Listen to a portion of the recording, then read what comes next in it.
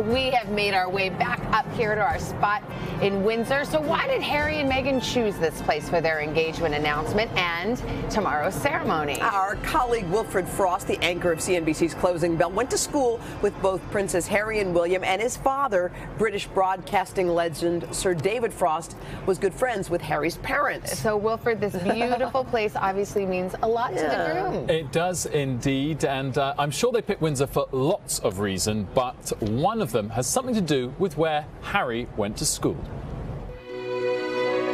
Windsor Castle and the surrounding Great Park has become a special place for Harry and Meghan, but it has always been a special place for Harry.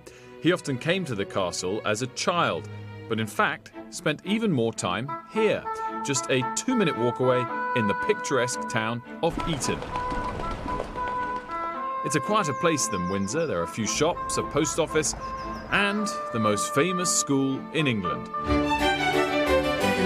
Eton College. Founded in 1440 by King Henry VI, Eton has an impressive list of graduates, including 19 British Prime Ministers, James Bond author Ian Fleming, and actors Damian Lewis, Hugh Laurie, and Eddie Redmayne. And it's where the princes, William and Harry, spent their high school years. September 1998, Harry's first day at Eton, and dressed like all boys here in a tailcoat, waistcoat, and school tie a tradition that goes back to the early 1800s when it was first introduced out of respect for King George III after his death. It has stuck ever since. There are 25 houses at Eton, like this one, Manor House, which Charles and Diana picked for William and Harry. Your house is not only where you sleep and eat, but also where you make your closest friends.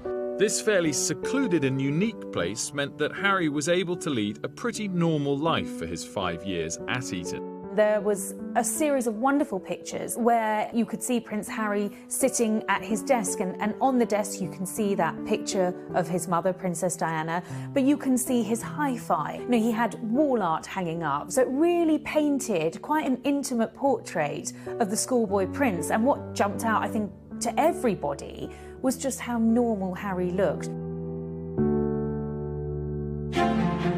During his time at Eton, Harry demonstrated talent as an artist, but it was in sport where he excelled in rugby, soccer, on Eton's vast lake rowing, and Harry was particularly good at this.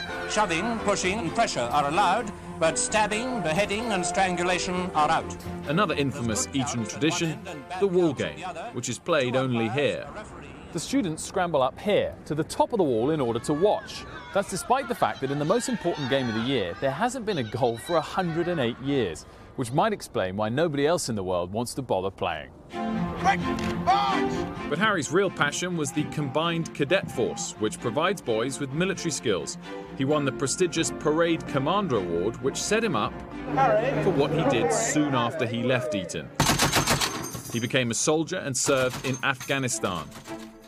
But it was his five years here in Eton that really made Harry fall in love with Windsor.